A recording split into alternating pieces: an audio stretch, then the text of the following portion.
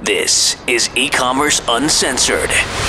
Brought to you by Fast Forward Unlimited. We're coming to you fully loaded and exposed with all the strategies and techniques for growing your e-commerce business.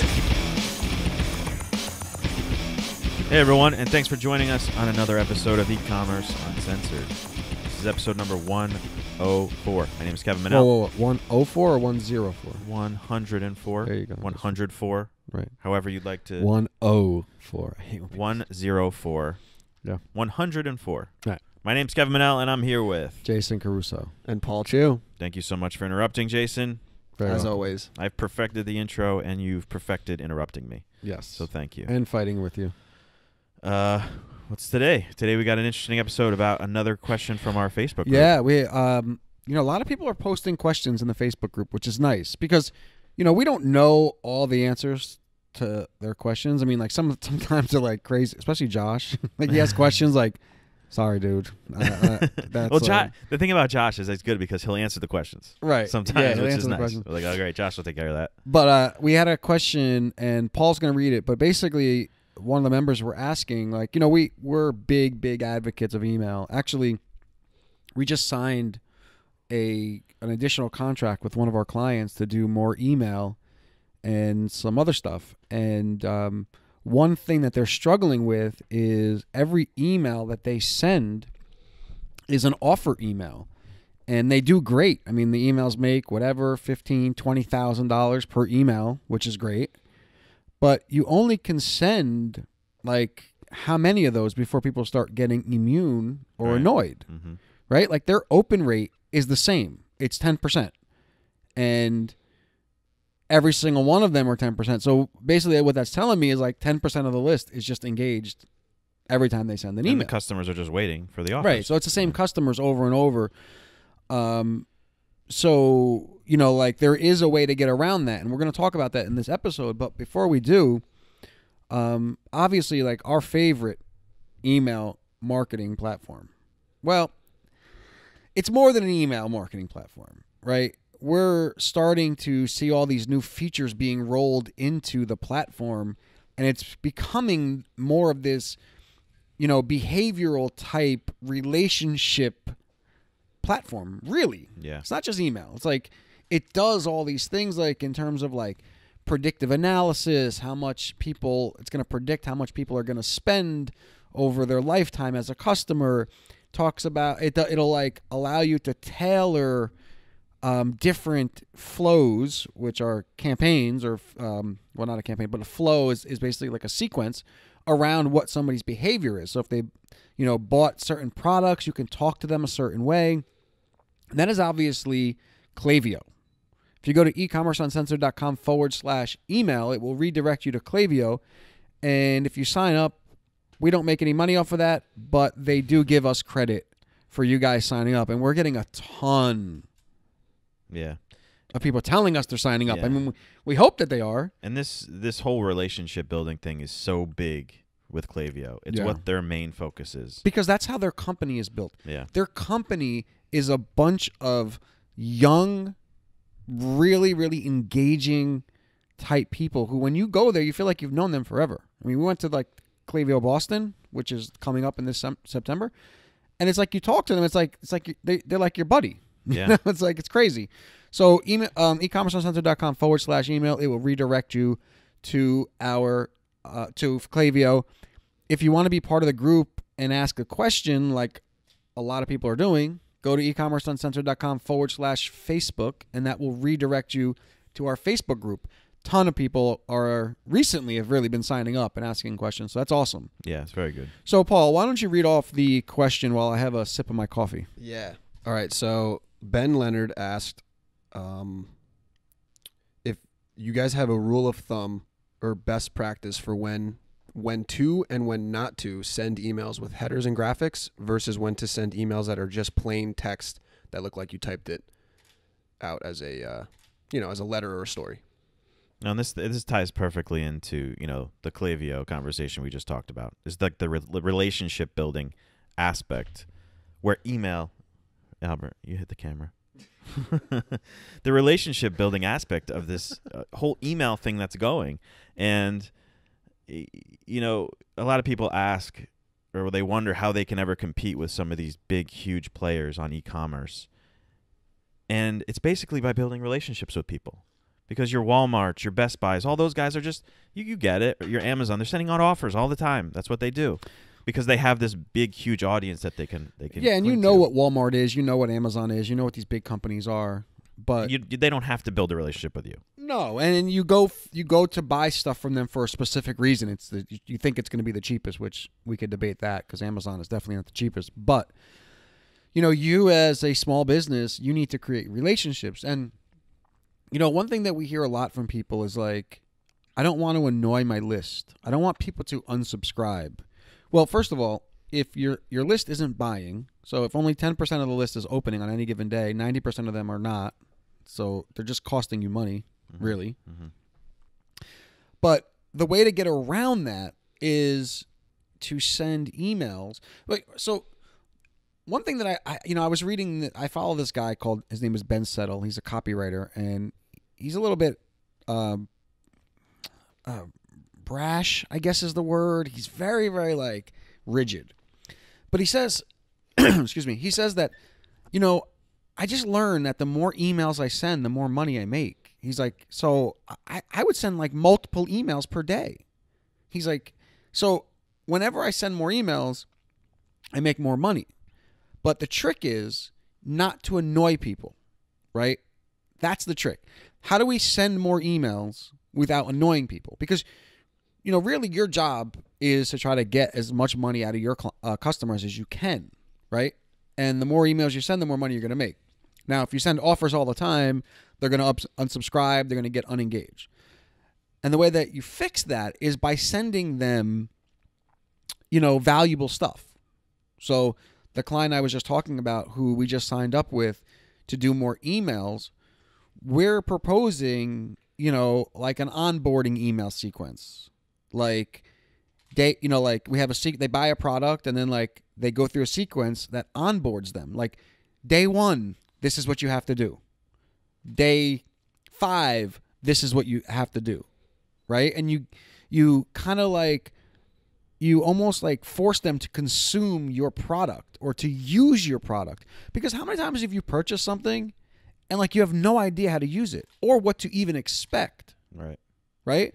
But if you go through this onboarding process where you're actually, you know, teaching people or giving them value, you can you can be creative and stick other offers in there. For example, if somebody buys I'm going to use a cell phone because it's going to be very easy to understand somebody buys a cell phone and then you bring them through an onboarding process. And in that process, you're like, look, we recommend using this case, right? Like, you know, day one, turn your phone on. Now, this is a very simplistic way to explain it, but it's just easy to understand. Day one, turn your phone on. Day two, uh, connect it to your email, Right. right? Day three, day three is usually when people start dropping their phone. so this is this is the case that we actually recommend you get. Now they trust you, and so they're more, you know, in more likely to take your advice. And a platform like Klaviyo, as you as they go through these things, Klaviyo starts to take in all this information about the customer. You know, whether they click on certain things. And I got a thing on from Klaviyo the other day on Facebook that was like, "How would you like to predict when your customer is going to buy next?" And these are the kind of things that allow that to be possible. Not just offer after offer after after offer.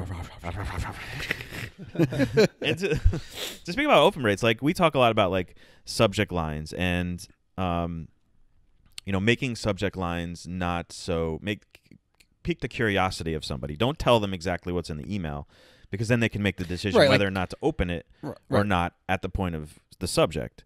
And I think the same thing happens when you're sending out every time you're sending out offers. It doesn't matter what the subject line says. They just know there's going to be an offer in there and they can decide there anyway. Yeah. So, g- touching on your point, like you don't want to put just to give an example of what you're saying, like twenty percent off of everything. Mm-hmm. Now there are times where the offer is so good that you want to put it in there, like seventy five percent off all stock, 50% off of all stock. Those will work because those are high enough numbers. But if your offer is like 15% off, it's not enough to make people want to see the offer. Um, and like Kevin is saying, you condition them to only when they see your email in their in their inbox, you condition them to know it's just an offer. And not only do you condition them, you also condition their email provider. Like another Right. part of that question, I don't you didn't mention it, but a, a, a, the first part of it was like about spam Right. and how not to get caught up in spam. Right. Because when you start when a person stops opening your emails and starts in, stops engaging with your emails, the email provider itself is going to start filter that stuff out. Yeah, yeah, and, and to that point, when you send more of a storytelling or more value, people tend to respond to them. And when they respond to your email, that's how you get out of the spam folder. Mm-hmm. They open it and they respond and say, "Oh my god, thank you very much for this information." That's like the golden rule. If someone responds to your emails, it tells the ISP, the internet service provider, or the email provider that this is somebody they want to talk to. Yeah. And not even emails with any links in it. Just a conversational piece that prompts a response from somebody. Yeah. Like I Jo- like Josh, we talked to him a, a couple episodes ago. We interviewed him episode 100. Yeah. He is doing like I'm on his email list. He's doing a really good job at that. It's not as easy easy thing to do is to do this kind of storytelling thing and do it on a consistent basis. But he's doing a really good just telling people, you know, the problems that he's has, his experiences, and that's the kind of thing that we're doing with Albert when we, you know, are sending our emails out. It's like we're creating emails that talk about exactly what we did to get to the topic of our podcast when we send out our emails. So that's a similar thing that you have to do. Yeah, and it and it gives you an opportunity to email more often. That's what it comes down to. Just getting in front of people's like faces or their eyeballs, however you want to say it, and having them see your stuff, right? And and you know, e-commerce brands have this thing like, "Oh, my product, my product," but like it's it's not really like just that. Like if you have if a company likes you and agrees with your who you are, they're more you know inclined to buy from you more often. And you can like you know it's a funny thing like I, I think about some of the brands that i'm attached to right? Like apple. Let's just just apple right? My wife's phone the samsung is way better it's not even a question I, I don't care who you are you could tell me till i'm blue in the face till you're blue in the face that your apple phone your iphone is better than samsung and I, i'll tell you you're nuts they're just not but uh, my iPhone connects to my laptop. It connects to our TV here. Connects to my. I mean, it just connects to everything. So like, I like that, right? So even though the product to me is inferior, I I still buy from them because I like them and I like who they are and And what do you usually never get from Apple? Is an offer, right? Ever. You never get a deal from, from No. Apple. they just tell you about how great their product is and and things like that. And it's just that kind of relationship that you need to build. It's for people to put their guard down and allow you in. Yeah, and that's a big thing because I think you know, uh, the whole you know gatekeeper type mentality, right? The whole guard like thing is like, you know, people like they need something to make them feel like you're not trying to sell them all the time. And when you send them a story or you send them something like that that's going to help them, they kind of put their guard down and they're like, "All right, cool. Every email is not going to be selling even though every email should be an ad." See, that's the trick. Mm-hmm. Making the email an ad without them knowing it's an ad. And because they remember what? They remember a story, right? They, well, right. If you if you if you if you study copywriting, the first thing they teach you is that people communicate in stories. Like think about it. Like when you when you want to like argue your point, you're always like, look, last week I was in the gas station and then you're always it's always a story. It's never just like the facts cuz the facts don't really mean much. Mm-hmm. And no one remembers the facts. Right? Like if you have a product and you're like, you know, 98%, you know, whatever, like, people don't remember that. Everybody says it's 98%. Facts are BS without a story around it. Exactly. You can make up any kind of number. But if you said, like, hey, you know, this this surfer, you know, was hit by was, was bitten by a shark, but he had this you know, this special suit on and it didn't go, you know, puncture his his skin. Now it's like you get attached to the story. So do you guys think it's more effective to use written storytelling emails as opposed to graphic? I think you want to mix both of them, and I think that you know you can send more as plain text because they look more like real emails, and you can be more like a person. Mm-hmm. Um, but there's always going to be a place for sending a pure offer, right? It just always is. Um, but yeah, I, I think I think if like if you're going to be serious about making money in your head, you should be thinking about how do you send more emails. People are so trained that the emails have to be, you know, graphics, a big graphic and a big advertise, a big billboard. And I think that's what we're dealing with some of our clients is moving them over to not so much of that, more of the just plain text type emails. Yeah, I was reading something the other day. It was funny that you know, like there's this big like the cool thing now is to like delete Facebook. It's like a new thing. It's like like you're cool if you delete Facebook. and there was like I guess there was an article, I forgot what magazine, and they were like emails the new cool thing. And it's like email's been like around for like and everybody predicts that it's going to go away, but it's not. Email will never go away unless there's something that's similar that'll replace it, like even chatting on Facebook, right? You do that until your girlfriend catches you or your boyfriend catches you, and then you don't do it anymore. Just saying, like, there's no. what kind of chatting are you doing? No, I'm saying, be just I'm saying there's no friendly, there's no uh, privacy. There's no privacy with Facebook. I'm just using a point that like you know, email's never going to go.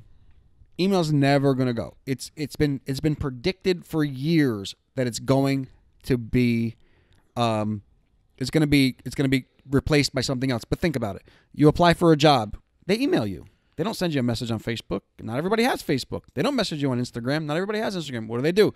Send you an email or they text you or mm-hmm. call you or whatever. So email is going nowhere.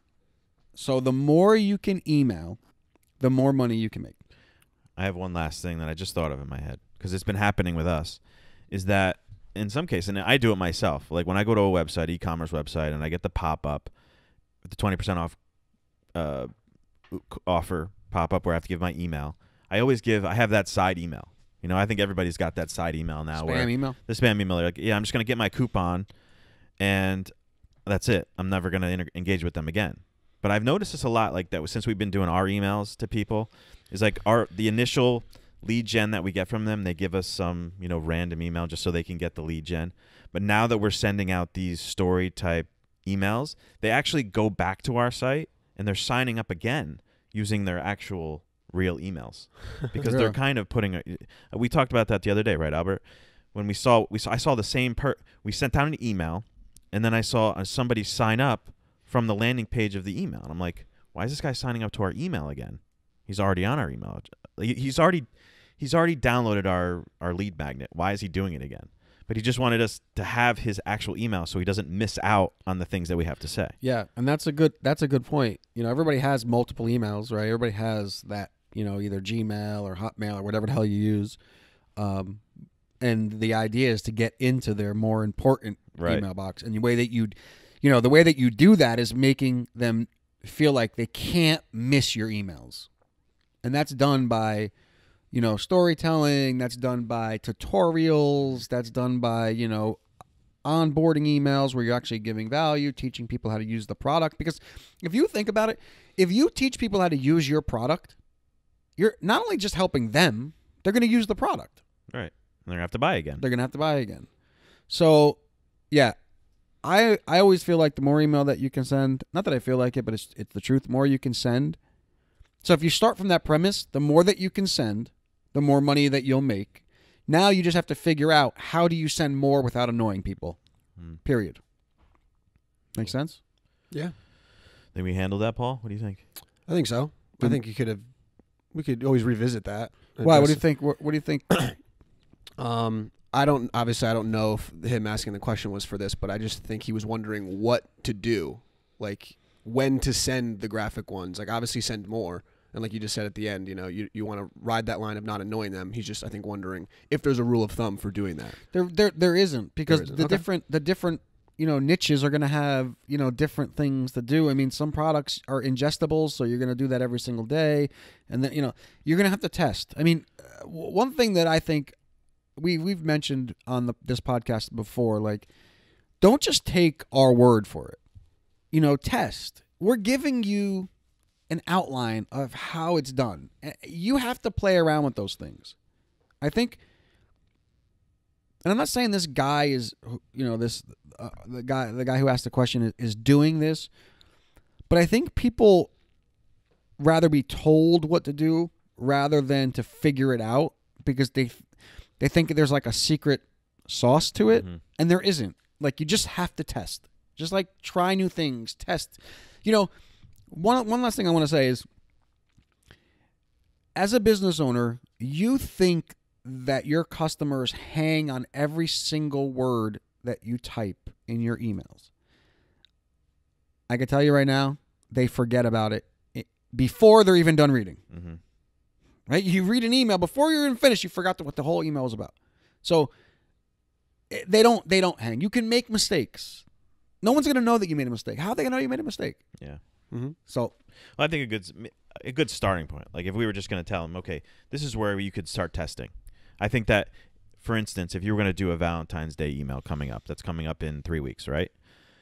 And obviously, that email you'd like to, to be nice. You like it to have graphics in it. You're going to have an offer maybe in it, depending on your industry or whether you're going to do that or not. But leading up to that, why not send some just some engaging content to them, be right up to that point to get them to warm them up to that orf- offer that's coming. yeah, maybe you have a, a customer who bought a bought a um your product for a loved one. Tell the story. Yeah. There's a lot of different ways to warm people up. Also, something else that works really well is tell them at the end of this, there's going to be a special offer that you only can get through email. Now people have to wait, right? Like, or or look out for it. They're anticipating it because you're mentioning it. You can even have a link in every single one of your emails that goes to a page that's like has like an, a coming soon offer or or countdown to the offer. Hmm. Like get them like you know feeling like they're going to miss something if they don't Right. if they don't pay attention. Cool. All right? Mm-hmm. So Klaviyo. ecommerceuncensored.com flo- flo- flo- ecommerceuncensored.com forward slash email Yeah, our favorite relationship ship building, building platform tool. It's really great. Get Yeah. over there and sign up for that. and then Get a free account up to 250 contacts. Yes. And then go to ecommerceuncensored.com forward slash Facebook and sign up or join our group. We'd love to have you in there. Very good. Join Maybe your question will be on here. Instagram and Twitter. Twitter is ecom uncensored. Uh, Instagram. Yeah, is just look up e-commerce E-commerce uncensored, Uncensored. right? Will it, will it come up? Instagram Probably. is at e-commerce uncensored, and Twitter is. E- At Ecom ecom Unc- uncensored. All right. it was weird. We didn't have enough letters in Twitter, so we couldn't do Yeah. it. but- So get get on our group. Maybe we'll answer your question, like Jason said Yeah. next time. So thank you guys so much for tuning in. This has been episode 104. 104. 104. And you can always check us out at ecommerceuncensored.com, and we'll talk to you guys real soon. Later. Bye.